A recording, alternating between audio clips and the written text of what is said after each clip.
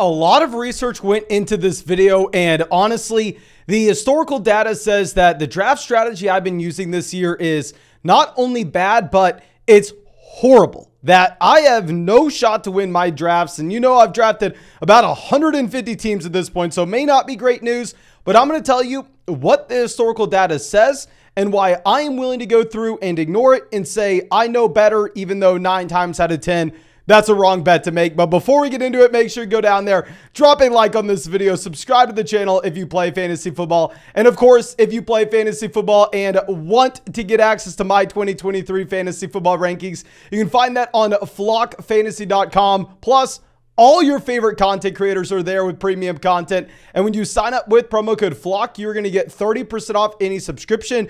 And yours truly will go through and make a podcast breaking down your 2023 fantasy football team. But let's go into this. And what I wanted to set out to do is find out where do league winning running backs come from? Not exactly what do they look like, obviously. I mean, you want to go through and you want to chase running backs that are going to see most likely 60 plus percent of the carries in their own backfield, plus possibly 10% of their team's target share. We kind of already know what a prototypical running back that's a league winner looks like. However, I want to look where these guys come from. Should we be drafting running backs in round one? Should we be drafting running backs in the middle round? Should we be drafting running backs in the later rounds? What do we actually do in these drafts? So what I did to find this research is I headed over to RotoViz where they have gathered win rates from FFPC from 2017 through 2022. So we have five years of data that we can go through and look at. And I broke down where these guys were drafted by round and looked at players that had a win rate of 16.67% or higher. The reason I choose 16.67% is because that is going to be double the average. If you draft a player and he is completely average, he's not a bust, he's not a hit, you're going to win your fantasy football league with that player 8.3% of the time if all else is equal. Because keep in mind, I mean, one out of 12 teams are going to win your league. So one divided by 12 is 8.3%. So these are going to be the players that if you drafted, you had at least double the chance to win your league than if you did not. Now, round one, guys, apparently this is where all the league winning running backs come from, okay? Since 2017, you've had six running backs to actually have a win rate over 16.67%. These guys include Christian McCaffrey, 2019, Duh. We all remember that. We all remember Alvin Kamara 2020. Remember the man had six touchdowns in your fantasy football championship game.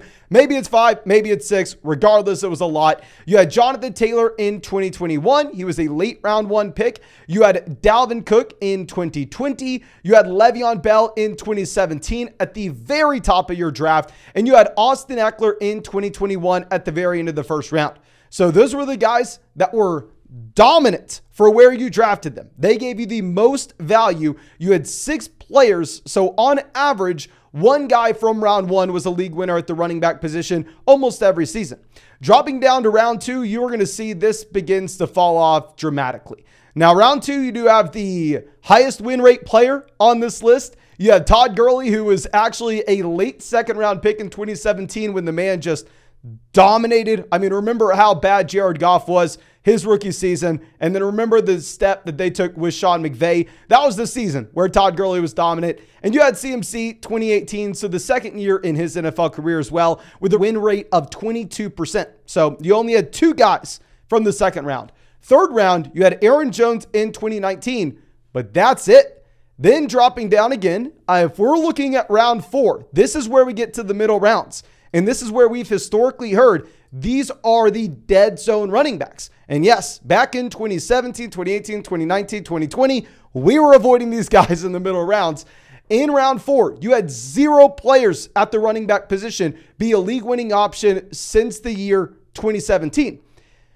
In round five, you only had one player, and that guy was Josh Jacobs. Now, it's wildly different where you were able to draft Jacobs. I was drafting on underdog all last year, and I was able to get Josh Jacobs round seven. FFPC was going round five. But of course, If you want to get in drafts with me this year, you know we're drafting on Underdog every single day on the live stream. With Underdog, it's best ball, so there's no time commitment at all during the season. And when you sign up with promo code FLOCK, you are going to get 100% of your deposit match. You're going to get my 2023 fantasy football rankings. You are going to get a free trial to flockfantasy.com, available in pretty much damn near every state. We're going to draft over 700 teams there again this year. We did last year. It may or may not have won 150,000. But anyway, let's continue to go through these middle rounds. Round six, you had zero league winning running backs. Round seven, you only had one, that guy being Tony Pollard this past season. Round eight, you only had one. That was Austin Ekeler back in 2019. Round nine, you had zero. And round 10, you only had one, and that was Kareem Hunt back in 2017.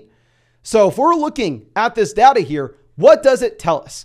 It tells us what people were saying to do last year what people were saying to do the year before. That you want to go through and you want to build your team around anchor running backs at the very top of the fantasy football draft. And then you want to be hammering in wide receivers in the middle rounds. This is actually what won Best Ball Mania team last year. Kerrane won $2 million by drafting Austin Ekeler round one, Saquon Barkley round two, then wide receivers in the middle rounds. And honestly, I think that if you were maybe in a casual fantasy football draft, this is still the strategy you want to deploy, right? If you're just in a league with your high school buddies, your college buddies, where you only start one quarterback, two running backs, two wide receivers, a tight end, and a flex, and you have a very shallow bench, if you're playing in that extremely casual fantasy football format, I would say that this historical data probably backs up that you should be drafting your running back round one. You should be following that up with the running back draft pick in round two. And if you can leave your draft this year, maybe with the combination of Austin Ekeler and Derrick Henry, you should probably be pretty excited because you're going to get wide receiver value in the middle rounds.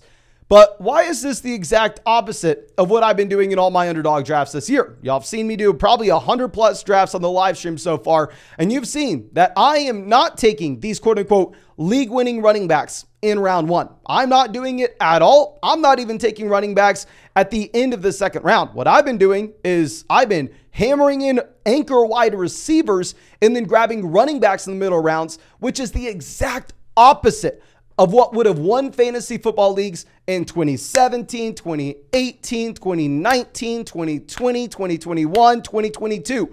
I'm doing exactly what this data says not to. And the reason is is fantasy football drafts, particularly on underdog fantasy at this time of the year, are completely different than we have ever seen before.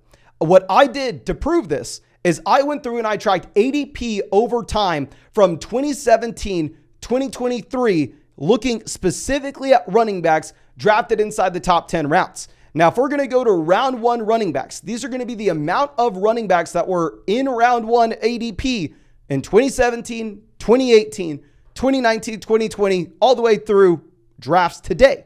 So 2017, five guys. 2018, nine. 2019, seven. 2020, 10.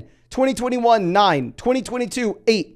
So you're seeing that pretty much on average, there have been eight to nine running backs drafted in round one since 2017.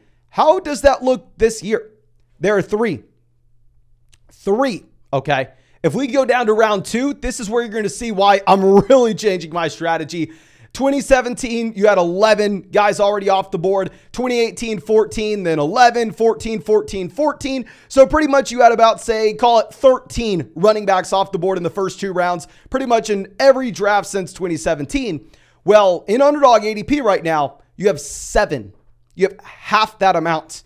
Going down to round three, we are looking at 12 running backs off the board through the first three rounds in these underdog drafts, whereas throughout history, you've had on average about 18. Now, if we're going to go to round four, the middle rounds where historically it's been very, very bad to go through and draft running backs, you have 14 running backs off the board in underdog drafts by the end of round four, whereas historically speaking, we've seen anywhere from 20 to 24 with an average of about 22 to 23.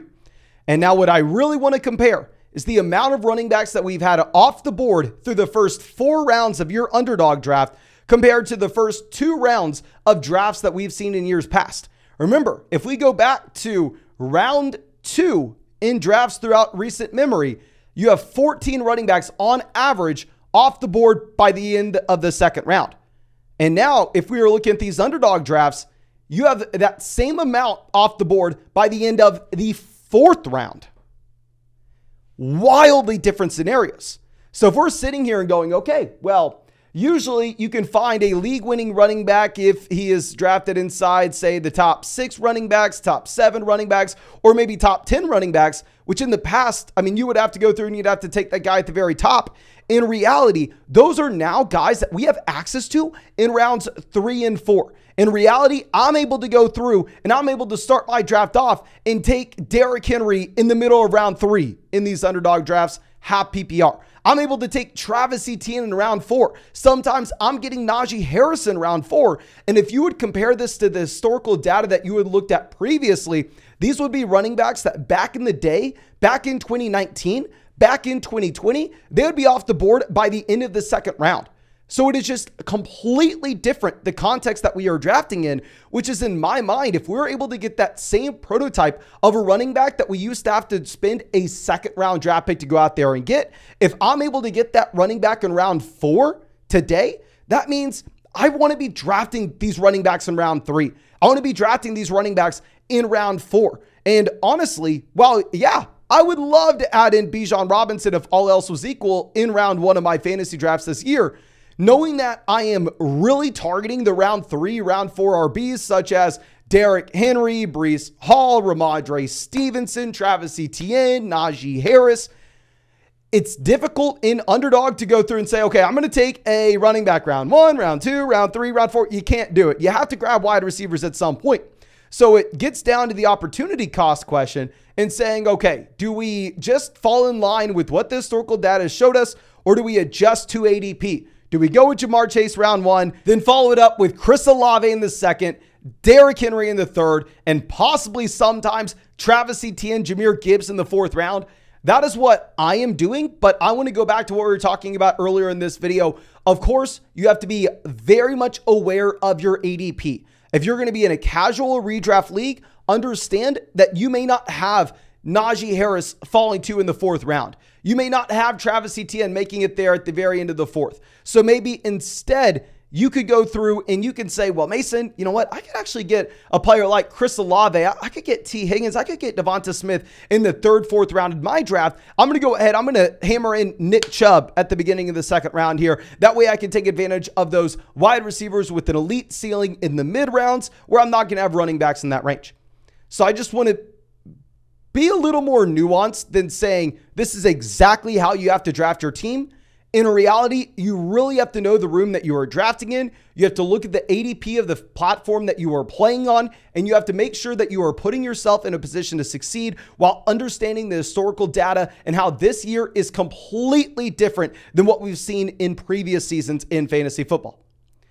So I hope this was able to help y'all out. Of course, if you have not done so already, Drop a like, subscribe if you play fantasy football. And as always, if you want to get in a draft with us, you can on Underdog Fantasy. Go sign up with promo code FLOCK. When you sign up with promo code FLOCK, you're going to get a 100% deposit match not only a 100% deposit match, but at the same time, you'll get my 2023 fantasy football rankings. You'll get a free trial to flockfantasy.com. And if you're a member of flockfantasy.com and you use promo code FLOCK on Underdog, make sure you go claim the uh, free merch that you have in the Discord. Just need your address, essentially where to send it. And also, make sure you get over to flockfantasy.com and on your account page, there'll be a little section that says Underdog username. Put your Underdog username in that section and just for completely free, we've hooked it up where you're going to get an extra $10 in your underdog account if you are a member of the flock on flockfantasy.com. But thank you so much. Really do appreciate y'all. Really hope you have a great day and really hope I get to see you in the live stream later today.